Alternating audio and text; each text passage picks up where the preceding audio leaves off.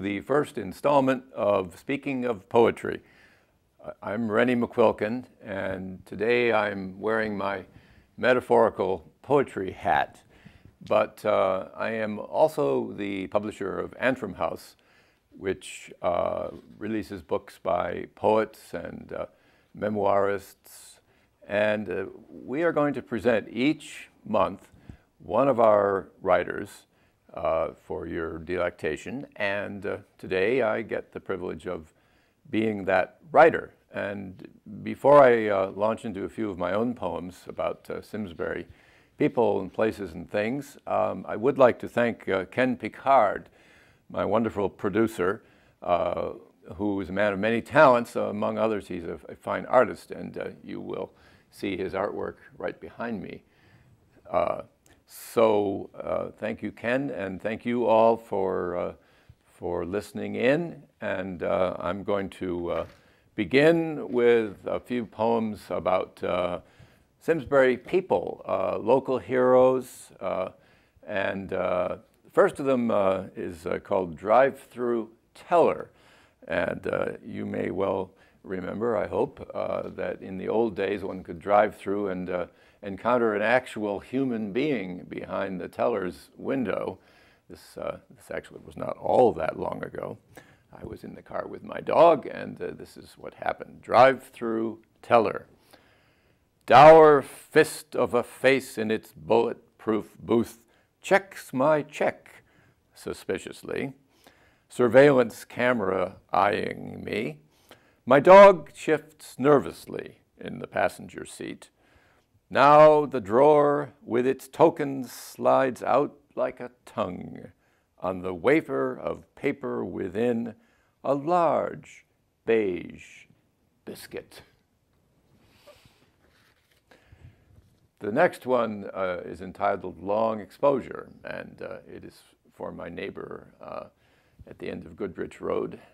And uh, this is Long Exposure. The end of the year blurs and flickers, an old film, silent, black and white.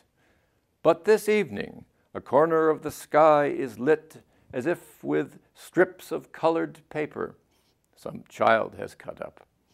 And an oblong moon's across the way, a star above it for good attendance, all very elementary.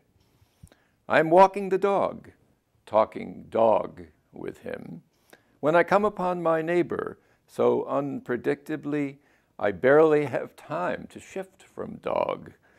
Don't quite make it. For his part, my neighbor is singing, How high, how blue the moon. The dog pauses, as if to bay. Must know he's in the picture too. My neighbor and I are in it as well, one of those long exposures where nothing moves. And uh, one for Steve Eckwurzel, my tree man. Uh, this makes a reference to Jacob's ladder, which in the Bible is the ladder by which angels come and go between heaven and earth. Tree man. Jacob can have his ladder, angels, the whole business. Give me any day the man with gaffs on his boots, who works his way up a hundred feet of locust, chainsaw hanging behind like a monkey's tail. Give me the man suspended by faith in cinch and line, the man who stands on air with the sun at his back, does what he can, and drops down to earth by a single strand. And one for Leslie Dewey, who died not too long ago, whose uh, flower farm on Terry's Plain Road is a, is a local attraction, and his son uh, still works that farm. Uh, uh Mr. Dewey, Leslie Dewey, collected Indian artifacts. That was an Indian uh, uh, summer campground, that whole section of Terry's Plain Road above the Farmington River on a, on a slight rise. And those artifacts actually are in the Simsbury Library. Flower Farmer. Last fall, Mr. Dewey wrapped his house with sheets of plastic. Lit by headlights, it glittered red and blue. This spring it lists farther. The shingles flap, and you can hear, he says, the tick of water dripping, termites, beetles, mice. As for his greenhouse, it's held up by vines and sprouts patched stovepipes crookedly. All winter, Mr. D cooked his dirt for potting. He's out of sorts today. She's dead, the 57 DeSoto that pumped river to his flowers. Still, it's spring. His dentures sparkle. He's in better shape than that neighbor of his with the heart thing. And there's always the granddaughter. She's a one with glads, a natural with daffs and, and two lips. But a little wild for boys, he's glad to say. Plant her here, she comes up there. Putting in carnations this morning, he found another arrowhead, onyx, an ornamental. He looked it up. Ask to see his Indian stuff, he'll ask you in. Old man smell and mildew and dry rot and cat stink and African violets everywhere, furry as an old man's ears. He has, he says, the Indian's cold. Knives, scrapers, axes, mauls. He's proudest of a three foot pestle stone, the tip worn smooth. According to the museum man, that pestle stone was hung from a sapling to pound seeds. He can see it now. She is something, the girl who works the pestle stone. A sapling pulls it up, the maiden pulls it down, sapling up, maiden down, grinding lily root. From her face, the granddaughter grins. Mr. D is bent like a tree the pestle stone is done with, but he turns that stone in his hands, in love with whatever works. Darn De Soto. And now uh, a few seasonal poems. Uh, I'm sure you remember with horror last winter's snow and pulling the snow off the roofs with, uh, with roof racks, with roof rakes and all that. This one is uh, about that snow, and it, it, has a flashback to the snows of the 1940s when a uh, neighbor girl and I um, would mole our way under the front yard uh, because it had about four feet of snow on it. She was uh, she had been sent over from England in 1939 to uh, be uh, out of the country when the Blitz began, which it did shortly after. Groundhog Day. What a snow! Whiteouts on the interstates from Ohio to Pennsylvania, 80 plus inches on the ground in Connecticut, and ice on the way. The Weather Channel is delirious talking it up. Their man in Pittsburgh is almost dancing with the joy of gusts to 60. I've had it with Jim Cantore, The lot of them have turned off the tube and getting back to work, shoveling out a hundred yards to the street.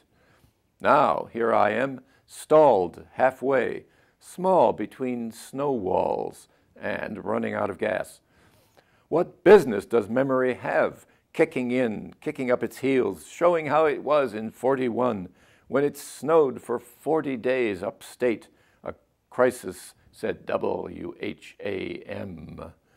When even better than making cities out of building blocks and bombing them to smithereens was mucking through a blizzard with Molly Scarf, sent over from London in 39 when a blitz looked likely mushing to a wall of half frozen snow looming overhead where the yard had once begun, and tunneling into it as if beneath that no man's land of white was what we'd waited so long to find. We worked and worked our way in, advancing like moles, digging and carting out snow to open the underground warren we wanted, a shelter so hidden no father or mother or V 2 rocket would ever find us. and uh, one from Easter time. Because Easter always comes after the first full moon of spring, I'm thinking of putting the Easter moon into a poem. Something about the new moon grown ripe as a wood frog's song full throat. Oh, good God, that's awful. Happily, I am interrupted. My wife brings me an orange button dug up in the garden, the undershell of a newborn painted turtle, dime size. It must have hatched during our cold spell from an egg wintered over. Perfect little legs, tail, head, but defunct. We commiserate, and I put the button in the waste basket among wadded up copies of my poem and go on revising, but it's hopeless. I give up.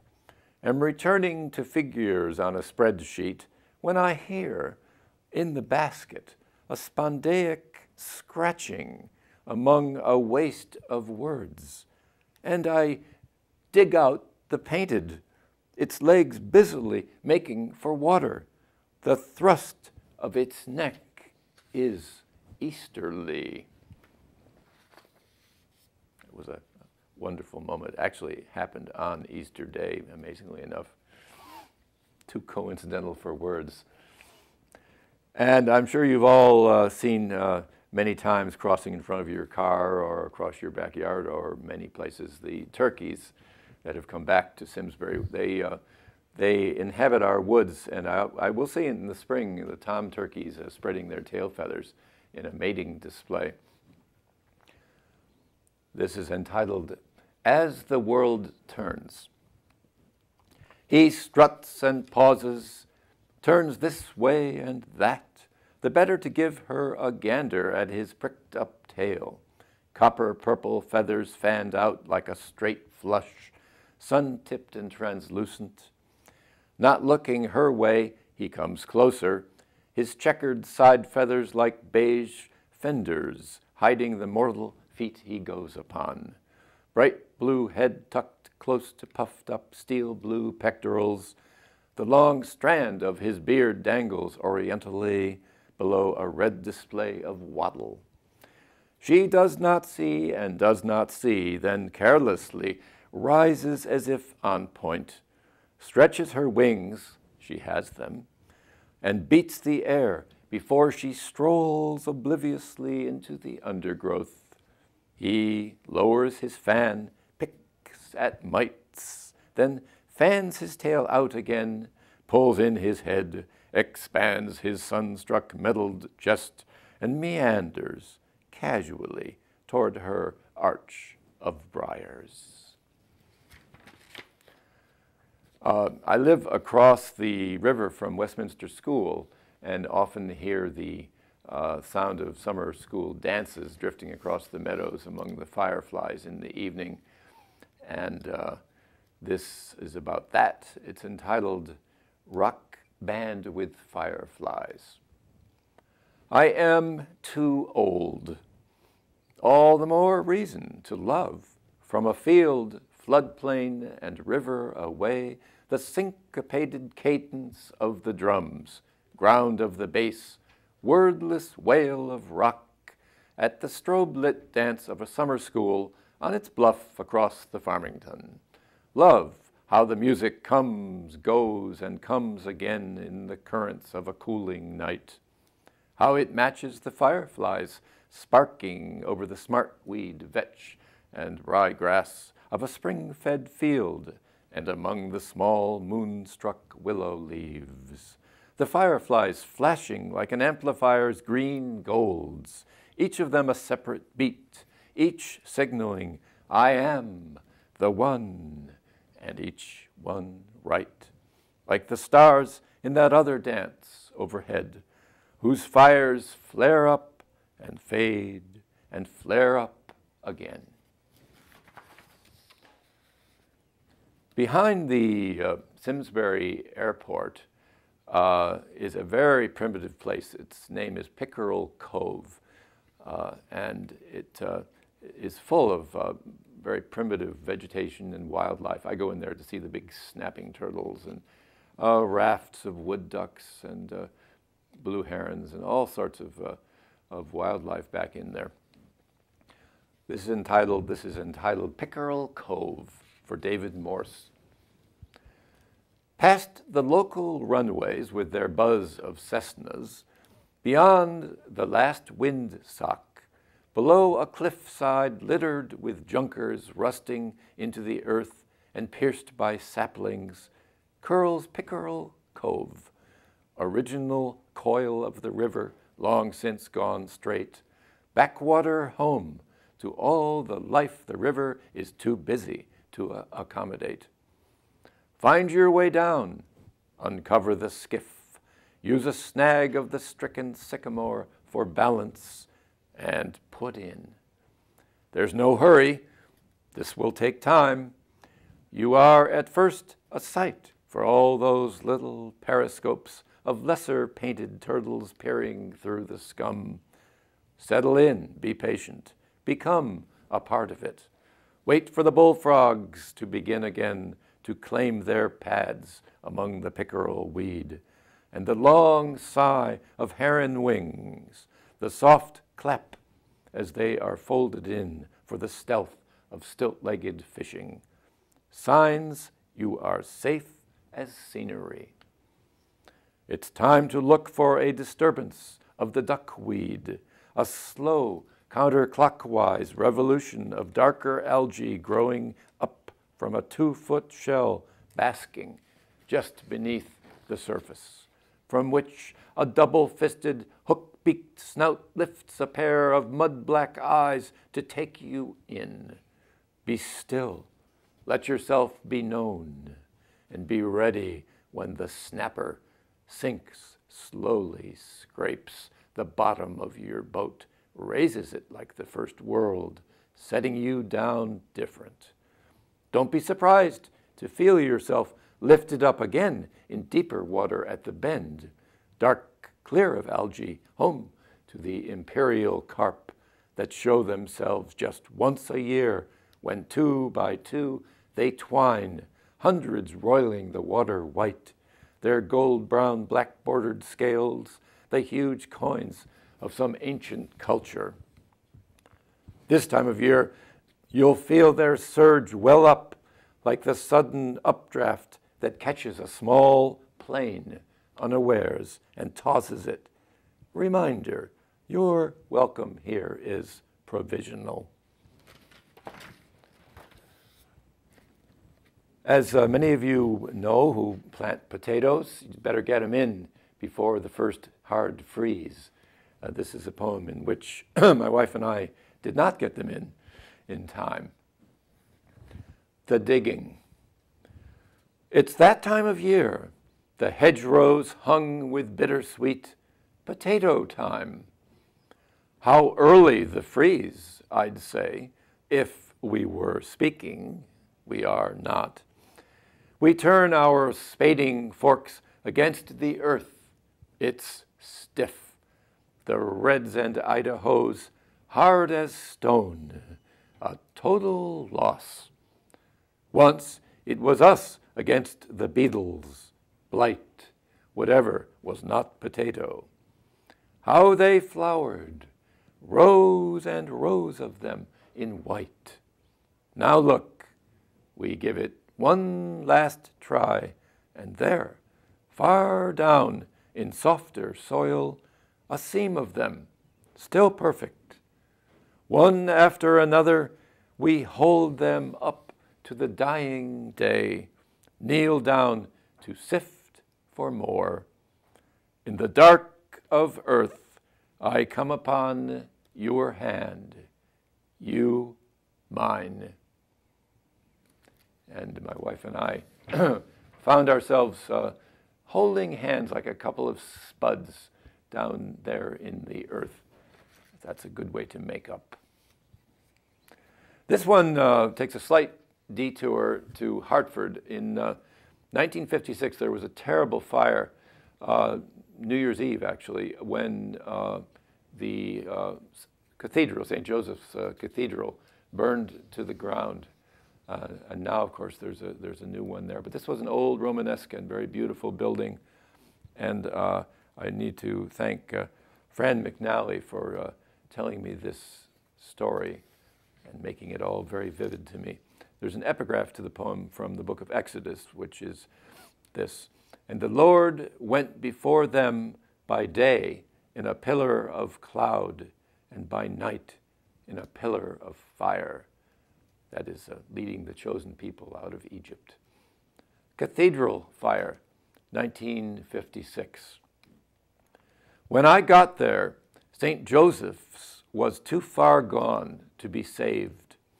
A column of smoke from afar, and closer, a pillar of fire. Then the rose window blossomed, exploded. A whirlwind arose, and from the belfry, bells, bells ringing their terrible changes. As the organ fell from the choir loft to the nave, the battering, the heat, something set it chiming, playing its sharps and flats in a fugue of its own creation. May you and I go down with such an explosion of music, a song of songs. What an extraordinary moment that must have been.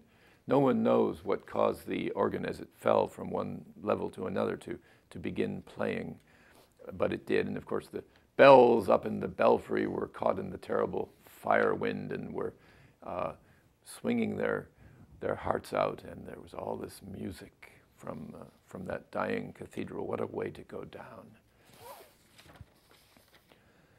We're, we're back now to uh, the corner of Goodrich Road and Ferry Lane, where my neighbor was singing the moon and I was uh, speaking dog uh, a while ago.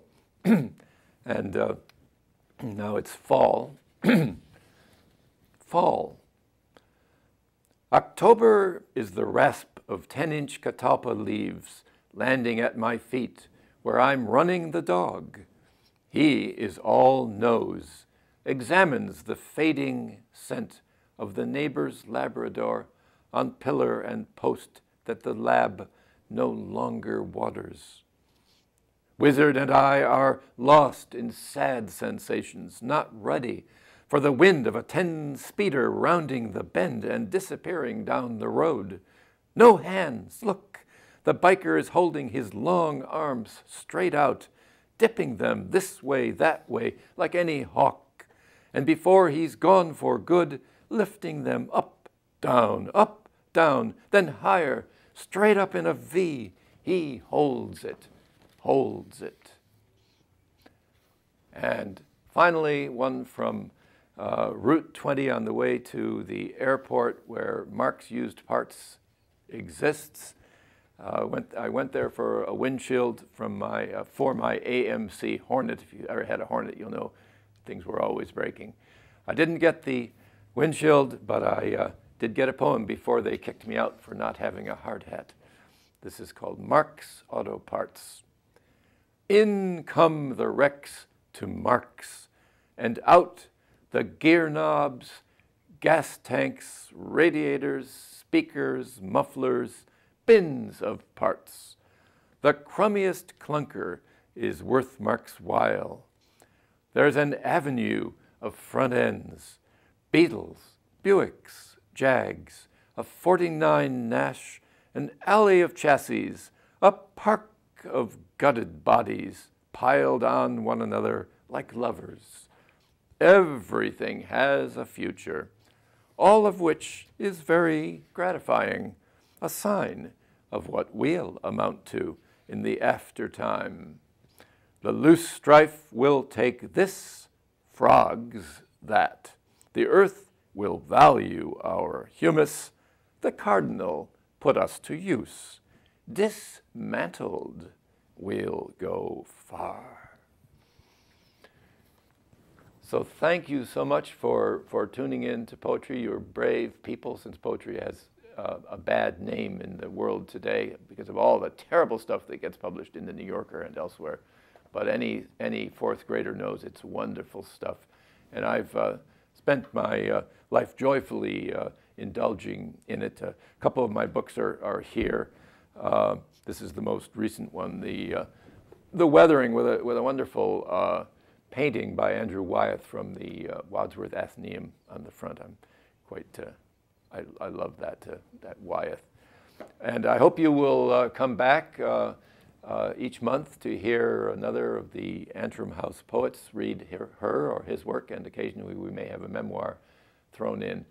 And uh, we look forward to your uh, calling in, perhaps, uh, and uh, or you getting in touch with me if you like.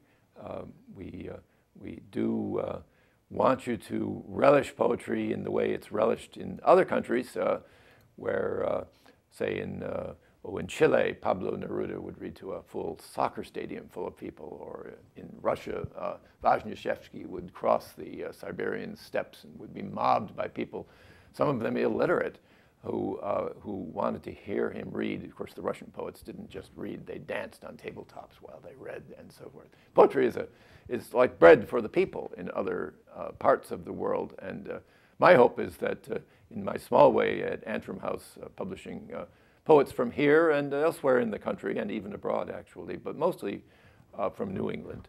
Uh, we, can, uh, we can introduce you to poetry and make it uh, like bread uh, for everyone. So uh, goodbye and uh, do come back uh, to hear the next poet. I wish I could tell you who it will be, but that, that's a surprise. You'll have to tune in, and it will be shown several times during the month and maybe even on Saturdays sometimes. So check Channel 5, your local access uh, Simsbury television station. And again, thanks to Ken Picard, my producer.